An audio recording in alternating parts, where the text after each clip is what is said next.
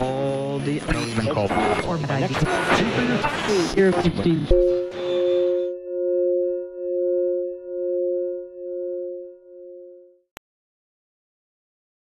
First of all, could you just tell me some a little bit about your professional background? Like No. where you, well, actually, no. Actually, actually, I, I worked for Honeywell for um, 26 years. Um, it started off as uh, Fram Corporation. Um, they actually made Fram filters and Autolite spark plugs, and probably within like mm, 10 years, AlliedSignal took over. Um, they were an aerospace company, so um, I kind of became a supervisor at that point.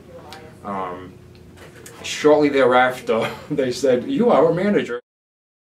I kind of fit really well into the management role. I guess I was always um, there were three uh, credit managers and one um, director, and I was always kind of the guy that was the mediator when there was a problem. So um, I think I was just I, I guess I was a natural. I'm kind of surprised that I was.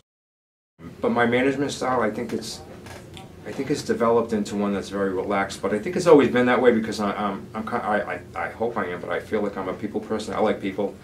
I, um, I take each one individually, and I, and I've been through thick and thin. I had a boss who wasn't as flexible as I am, and I think you learn from those experiences um, not to do those things.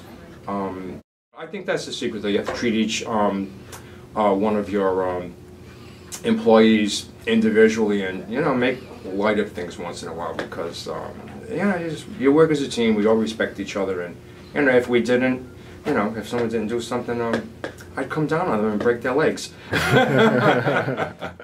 yeah, I always thought I was I was not creative because I didn't think of creativity beyond being artistic, I guess. Mm. So, um, so I guess I I do have creativity according to Tommy Boy. no, my daughter, my daughter, and my sons have said that too. So I, am realizing that I do have some, and I'm just trying to um, um, develop it. It's in there. We'll get it out somehow, some way, somewhere. P.S. I forgot to tell you, but I'm developing my writing skills. I actually. Um, write in the morning. I, I was writing in a journal, and I did that when my wife passed away. And then I got into just I just I just wanted to continue to write. But I kind of go on my computer and I actually type away, and I've been doing uh, short paragraphs of the life of a gentleman called Rhett, me. and it's really based on a southern gentleman. I just have something about southern living that really um, I'm drawn to it. Life is one big improvisation. I'm an Italian. I improvise every day. I also have creativity with food. Mm. I won't go into it, but I like to create.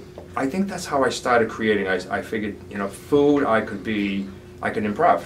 I could do improvisation with food.